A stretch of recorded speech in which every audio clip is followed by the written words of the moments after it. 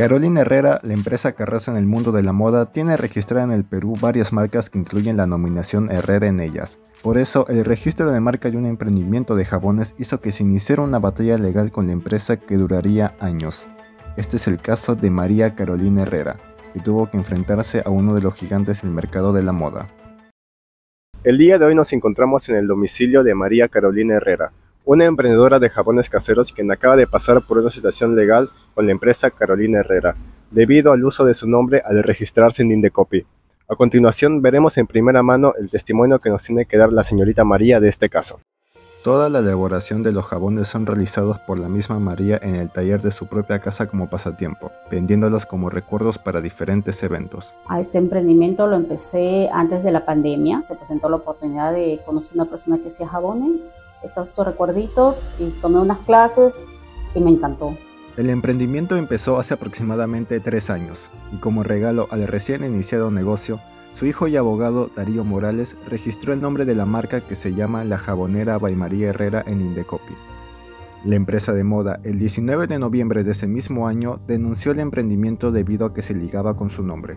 Indecopy, cuando uno presenta una solicitud de registro de marca, la, la publica al público dentro de este plazo Carolina Herrera, la empresa internacional, planteó una oposición señalando que esto afectaba a sus marcas ya registradas. Yo cuando hago el emprendimiento le pongo ese logo o la jabonera Vi María Herrera porque yo me llamo María Herrera. La empresa declaró que el término Herrera en el apellido de María no le genera derecho a usarlo debido a la aproximación de la marca y por lo tanto los perjudicaba.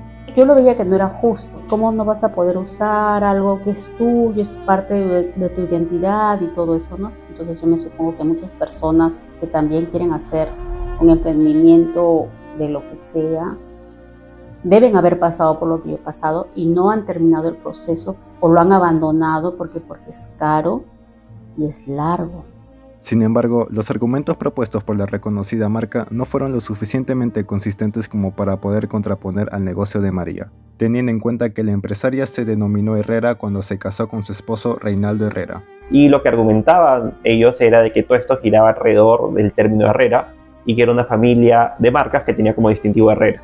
Nosotros argumentamos que en estos casos el término Herrera por sí mismo no es un término distintivo, y de que ambas marcas eran lo suficientemente diferentes para que no generen confusión en el mercado. Carolina Herrera también dice que el apellido de ella no es Herrera, es el apellido que ella coge cuando se casa. Cámbienme así, y es Herrera Herrera, doblemente Herrera. Al final el Indecopi en una segunda instancia confirmó de que en efecto entre ambas marcas no se produce, entre las marcas Carolina Herrera y la marca que nosotros queríamos registrar, que es la jabonera María Herrera, no, no iba a haber confusión el tribunal del INDECOPI nos da la razón y lo, con lo cual se consigue el registro de la marca.